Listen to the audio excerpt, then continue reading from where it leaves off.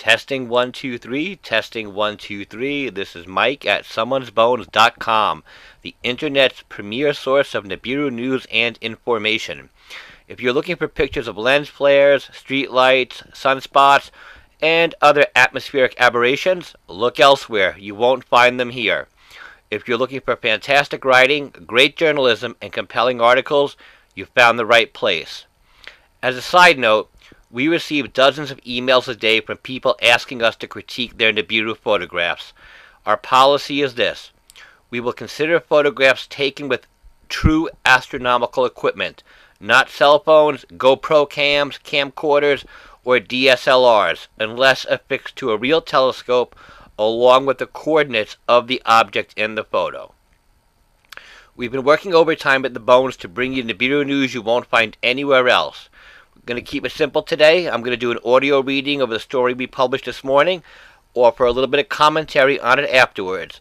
As always, we want to know what you think, so comment below or visit us at www.someone'sbones.com. Headline reads Harvard, Harvard psychiatrist says Nibiru addiction a true disease. And the story Nibiru addiction is a growing psychological illness says Dr. Patricia Wallace, a Harvard educated psychiatrist with over 30 years of clinical experience. She became aware of this illness, she says, when patients began creating elaborate fantasies about a distant celestial object on a collision course with planet Earth. I first learned about Nibiru from a patient back in 2012, Dr. Wallace said. He was absolutely convinced that a mythical planet was going to smash into Earth in December of that year. I desperately tried to work with him, but the fantasy had completely consumed him. I thought, of course, this was an isolated incident, until I met another patient several months later who also believed in Nibiru. In 2013, Dr. Wallace started researching the psychological impact Nibiru had on patients she began clinical studies, opening her doors to patients whose visions of Nibiru had affected their lives. However, since Nibiru believers do not believe they are psychologically impaired, Dr. Wallace had to entice them into her office for psychological counseling. She offered incentives $150 to each patient willing to communicate his Nibiru experiences. Unfortunately, patients flooded her office, and she soon realized that the majority of new patients merely sought some free cash and did not believe in Nibiru at all.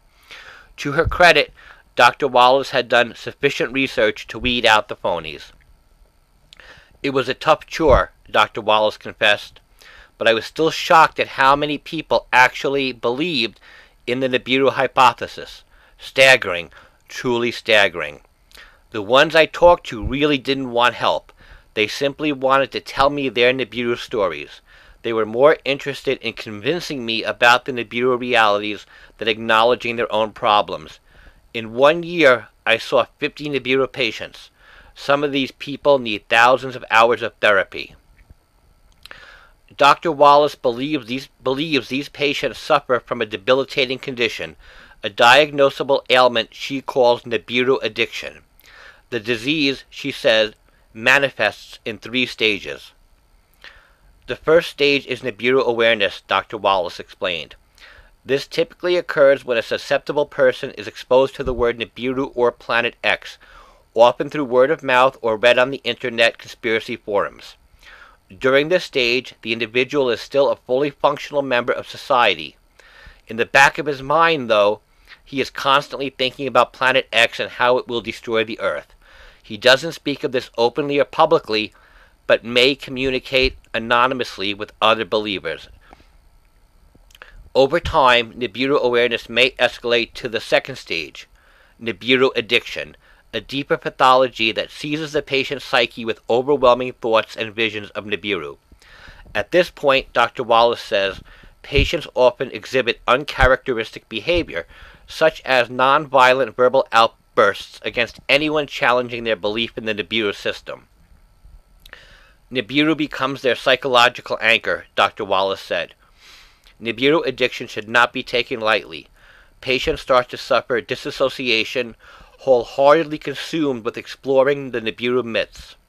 They may spend hours upon hours prowling internet forums, believing they are conducting research for the betterment of humanity. They present compelling arguments with absolutely no evidence. The disease must be arrested here. Without medication and intense therapy, the condition may worsen. In rare cases, Nibiru addiction, addiction escalates to Nibiru psychosis, by which point the patient has lost touch with reality.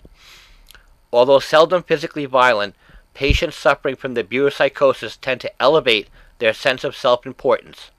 They perceive them, themselves as Nibiru messiahs, part of a savior movement dedicated to warning the world about an impending Nibiru apocalypse that will eradicate all life on Earth.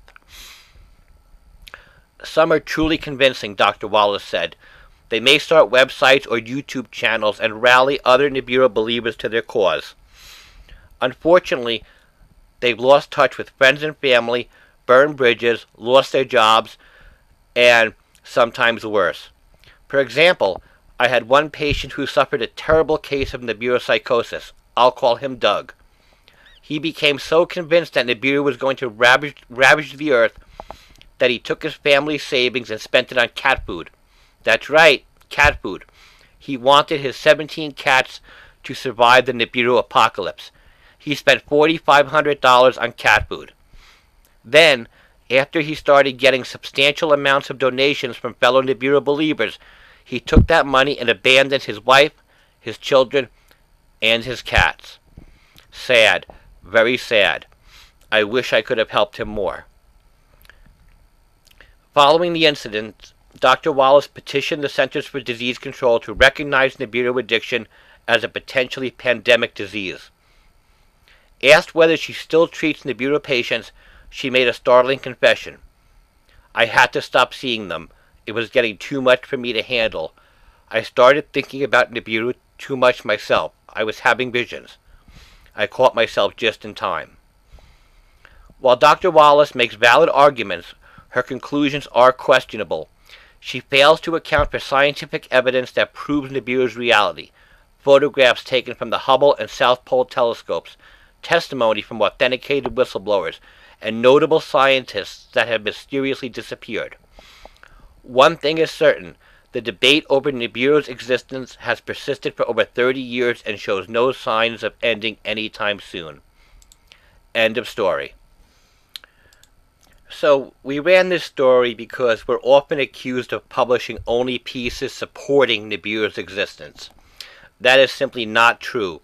We have always prided ourselves on presenting fair and balanced coverage when it comes to Nibiru. We are not in the business of convincing people whether Nibiru is real or fake. I write these stories based on information provided by experts in their fields of study and let the readers draw their own conclusions.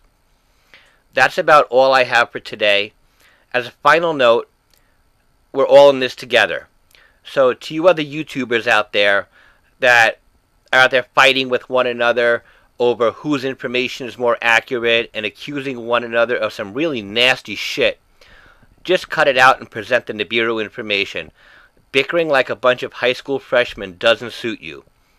Until next time, this is Mike from someone'sbones.com signing out.